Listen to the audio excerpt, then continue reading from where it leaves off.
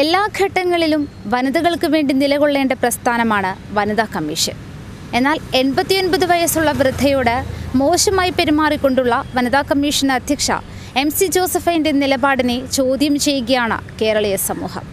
എങ്ങനെയാവണം വനിതാ കമ്മീഷൻ അധ്യക്ഷ? ജനങ്ങൾ പ്രതികരിക്കുന്നു. വളരെ മോശമായി പോയി. കാരണം ഒരു വനിതാ ശിശുക്ഷേമ വനിതാ മറ്റേ ഒരു ആളുകൾ തന്നെ അതിനെതിരെ തിരിഞ്ഞത് വളരെ മോശമായി എന്നാണ് എന്റെ അഭിപ്രായം. ഒരിക്കലുമല്ല ഒരിക്കലുമല്ല അങ്ങനെ ആയിക്കഴിഞ്ഞാൽ പിന്നെ ആ വനിതാ കമ്മീഷന്റെ പ്രസക്തി ഇല്ലല്ലോ അതിന്റെ ആവശ്യമില്ലല്ലോ. അപ്പോൾ ഒരിക്കലും അങ്ങനെ ഒരു ഇതിലേക്ക് പോകുന്നത് മോശമാണെന്നാണ് എന്റെ ഇപ്പോൾ ജോസഫേനല്ലേ വനിതാ കമ്മീഷൻ? അപ്പോൾ അവർ ഒരു അടുത്ത വർഷം ചിന്താഗതിയുള്ള ഒരു സ്ത്രീയാണ് നല്ലതാണ് കുഴപ്പമൊന്നുമില്ല. അടുത്ത വർഷം ചിന്താഗതി നല്ലതൊക്കെ തന്നെയാണ്.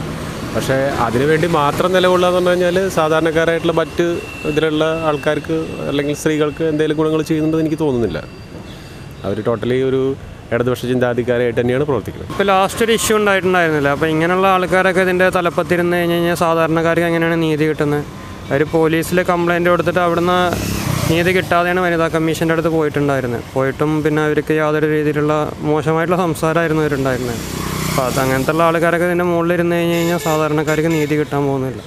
ഓരോ സ്ഥലത്ത് ഓരോ കമ്മിറ്റി നിയോഗിക്കുമ്പോൾ ഒരു സംസ്ഥാനവും അല്ലെങ്കിൽ ഓരോ ഭരണവും നിയോഗിക്കുമ്പോൾ എല്ലാവരും ചെയ്യുന്ന ചെയ്യേണ്ട കാര്യം ആ സമയത്ത് ആ സന്ദർഭങ്ങളിലെ കാര്യങ്ങൾ ചെയ്യാൻ കഴിവുള്ള വ്യക്തികളും അല്ലെങ്കിൽ ആ മേഖലയിൽ നൈപുണ്യം നേടിയവരും അങ്ങനെയുള്ള ആൾക്കാരെ നമ്മൾ നിയമിക്കാൻ പാടില്ല. മറിച്ച് ഒരു രാഷ്ട്രീയത്തിൽ അവർ സീനിയറാണ് രാഷ്ട്രീയത്തിൽ അവർ ഇത്ര വർഷം എക്സ്പീരിയൻസ് ഉണ്ട് അതുകൊണ്ട് അവർക്ക് എങ്ങനെയെങ്കിലും ഒരു പൊസിഷൻ കൊടുക്കണം എന്ന് പറഞ്ഞാൽ അവിടെയാണ് ഇവർ നമ്മുടെ ഈ പറഞ്ഞ മാതാപിതാക്കളെയൊക്കെ ഒന്നും അവഗണിക്കുകയും അവരുടെ പൊസിഷൻ മെയിന്റെയിൻ ചെയ്ത് രാഷ്ട്രീയ കാര്യങ്ങൾ മെയിന്റെയിൻ ചെയ്ത് പോകുമായിരിക്കും അങ്ങനെ പാടില്ല.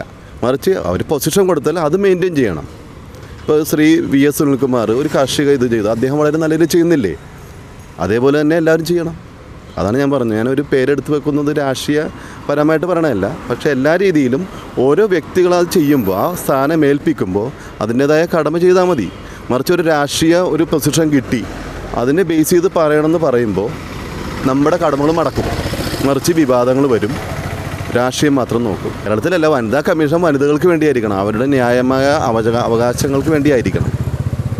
അല്ലാതെ ഒരു രാഷ്ട്രീയത്തിന് ബേസ് ആകരുത്. ഇവിടെ എല്ലാം അങ്ങനെയാണ്. എല്ലാം രാഷ്ട്രീയ ബേസാണ് പൊസിഷൻ സീനിയോറിറ്റി ഇതിനൊക്കെ ബേസ് ചെയ്താണ് ഒരു പൊസിഷൻ നിൽക്കുന്ന ഒരു ഒരു- മോശമായ രീതിയിലാണ് അത് ചെയ്തേക്കണത്. അത് പ്രതികരിക്കേണ്ടത് തന്നെയാണ് നമുക്കൊരു ഫേവറായിട്ടുള്ള രീതിയിൽ നിൽക്കേണ്ട ഒരാളാണ്.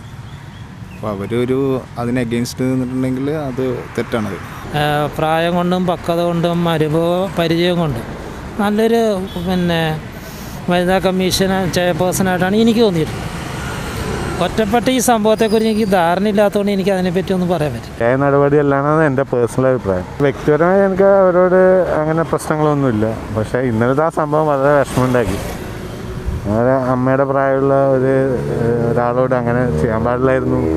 അതെന്റെ പേഴ്സണൽ അഭിപ്രായം. ആ ആ സ്ഥാനത്തിരിക്കുമ്പോൾ കാണിക്കേണ്ട ചില മനുഷ്യത്വപരമായ കാര്യങ്ങളുണ്ട്. അത് അവർ ചെയ്തു എന്ന് എനിക്ക് സംശയം മോശം അഭിപ്രായമാണുള്ളത് ഇന്നലത്തെ ഇഷ്യൂ വളരെ മോശമായിരുന്നു. ഞങ്ങൾ കൈകാര്യം ചെയ്യാനായിട്ട് നല്ല ഇടപെടൽ നടത്തുന്നവർ ആണെന്നാണ് എനിക്ക് തോന്നിയിട്ടുള്ളത്. കാരണം അവർ വനിതകളുടെ സംഘടനയുടെ നേതാവൊക്കെ ഇരുന്നില്ലേ അപ്പോൾ അതുകൊണ്ട് തന്നെ സ്ത്രീകളുടെ പ്രശ്നങ്ങൾ അവർ കുറേ കാലങ്ങളായിട്ട് കൈകാര്യം ചെയ്യുന്നവരാണ്. പെട്ടെന്ന് പറഞ്ഞപ്പോൾ വികാരത്തിന് അടിമപ്പെട്ട് പറഞ്ഞതായിരിക്കാനാണ് സാധ്യത.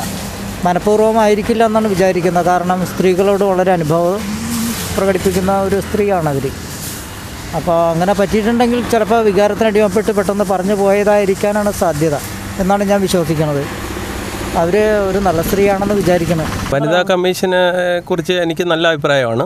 അത്യാവശ്യം കുഴപ്പമില്ലാത്ത ഒരു ഇതാണ് നമ്മുടെ കേരളത്തിൽ നടന്നുകൊണ്ടിരിക്കുന്ന ഒരു ഇപ്പോഴത്തെ സിറ്റുവേഷൻ അനുസരിച്ചിട്ട് നല്ല ഒരു ഹെൽപ്പുള്ള ഹെൽപ്പ് ഹെൽപ്പാണ് ജനങ്ങൾക്ക്.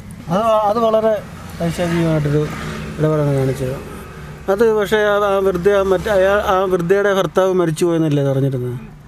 അങ്ങനെ ചെയ്യാൻ പാടില്ല. അതിനെ പ്രതികരിക്കാൻ ആളുകൾ ഉണ്ടാകണം നമ്മുടെ നാട്ടിൽ.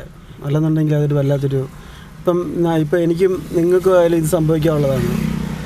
നമ്മൾക്ക് പ്രായമായ അമ്മയുണ്ട് അമ്മൂമ്മയുണ്ട്. അവരുടെ അടുത്ത് ഇങ്ങനെ ചെയ്യുന്നതിനെ കുറിച്ച് ഭയങ്കര ഒരു മോശമായ ഒരു ഇതാണ്. അഭിപ്രായമാണ് നിങ്ങൾ പറയുന്നത്. തെറ്റായ ഒരു കാഴ്ചപ്പാടാണ്. അത് നിയന്ത്രിക്കാൻ ഇവിടെ നല്ലൊരു സർക്കാരുണ്ടാകണം.